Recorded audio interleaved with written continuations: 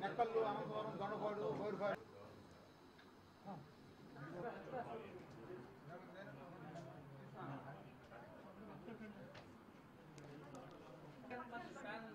ప్రధానంగా రాజధాని నిర్మాణం కోసం భూములు ఇచ్చినటువంటి ఇరవై తొమ్మిది గ్రామాలకి సంబంధించినటువంటి రైతు వారందరూ కూడా ఇక్కడికి రావడం జరిగింది.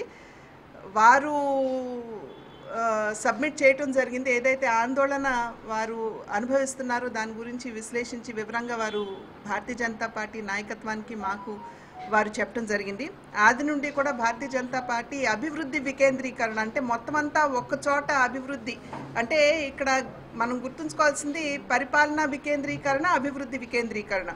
అభివృద్ధి ఏదైతే ఇంతకు ముందు ఉన్నటువంటి ప్రభుత్వం మొత్తం అంతా కూడా ఐటీ డెవలప్మెంట్ కావచ్చు ఇండస్ట్రియల్ డెవలప్మెంట్ కావచ్చు హెల్త్ సిటీ కావచ్చు మొత్తం అంతా కూడా ఒక్కచోట ఏదైతే పెడతాన పెడతామని చెప్పి అప్పట్లో అధికారంలో ఉన్నటువంటి ప్రభుత్వం చెప్పిందో అట్లా కాకుండా వికేంద్రీకరణ ఆ అభివృద్ధిని వికేంద్రీకరించాలి అనేది భారతీయ జనతా పార్టీ ఆది నుండి కూడా నమ్ముతూ వస్తున్నటువంటి విషయం అది మా సిద్ధాంతం కూడాను.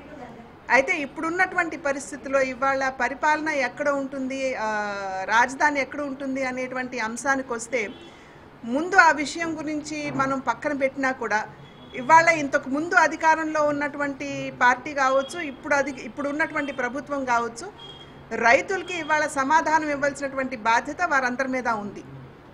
ఇంతకు ముందు ఉన్నటువంటి ప్రభుత్వం మీద నమ్మకంతో రైతులు ఒక పార్టీకో ఒక నాయకుడికో వారి భూముల్ని ఇవ్వలేదు. ఒక నమ్మకంతో విశ్వాసంతో ఆశతోటి ఒక మంచి రాజధాని నిర్మాణం జరుగుతుంది అనేటువంటి నమ్మకంతో ప్రభుత్వానికి ఆనాడు రైతులు తమ భూముల్ని ఇచ్చినటువంటి విషయం.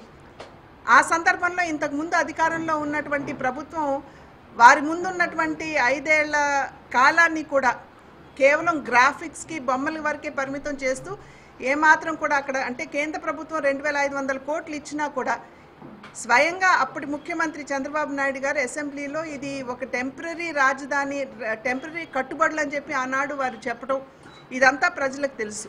అదేవిధంగా ఇప్పుడు అధికారంలో ఉన్నటువంటి ప్రభుత్వం సైతం ఇవాళ మేము వికే పరిపాలన వికేంద్రీకరిస్తాం అంటే అమరావతి విశాఖపట్నం రాయలసీమ వీటి గురించి మాట్లాడుతున్నటువంటి సందర్భంలో నేను ఇంతకు ముందు చెప్పినట్టు ఆ విషయాన్ని పక్కన పెడితే రైతులకి ఇవాళ సమాధానం ఇవ్వాలి.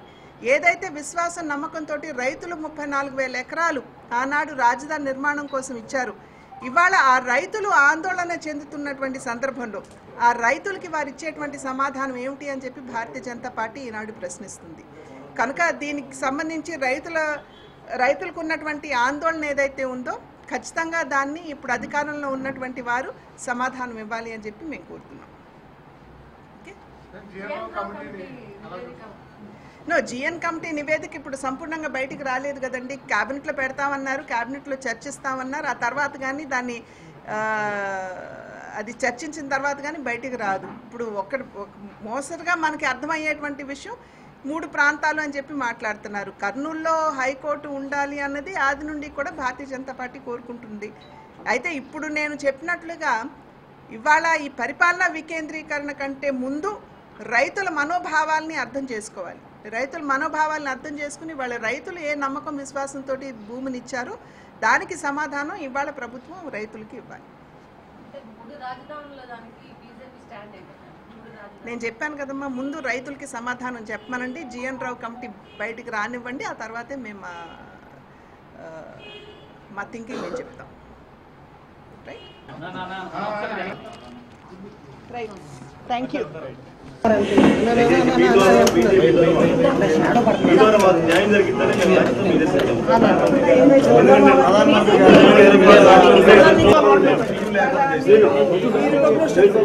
మీరు నేను మాట్లాడి ఇక్కడ ఉన్నటువంటి రైతులకి సమాధానం చెప్పాలి అని చెప్పి మేము గట్టిగా మేము అంటే మీరు నమ్మకంతో భూమిని ఇవ్వడం జరిగింది. ఇక్కడ మంచి రాజధాని వస్తుంది. రాజధాని ఇక్కడే ఉంచుతాము.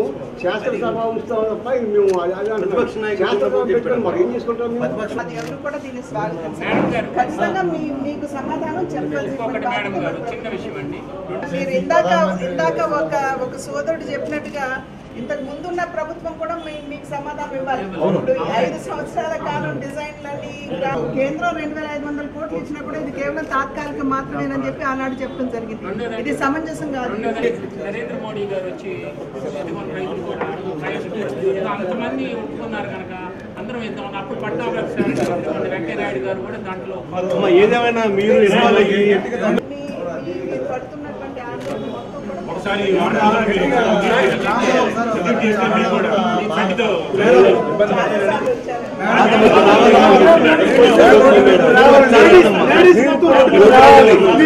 చెప్పండి. మేడం రైతులు వాళ్ళ సమస్యలు ఏమి దృష్టికి తీసుకురావడం జరిగింది వాళ్ళ తరఫున